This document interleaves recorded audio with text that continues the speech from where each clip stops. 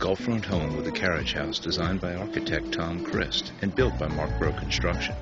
The main house is 1,672 square feet and has two bedrooms, a loft, and three baths. Tastefully decorated throughout this home, features hardwood floors, tumbled stone in the bathroom, stone fireplace and built-ins in the open living room, vaulted wood ceilings, ceiling fans, sub-zero refrigerator, and a loft for an additional sleeping space.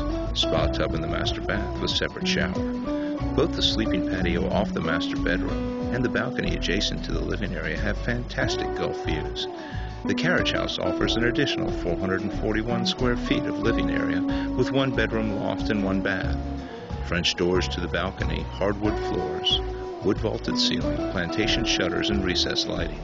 This home is being sold furnished with the exception of personal items and a short list of private artwork and ceramics.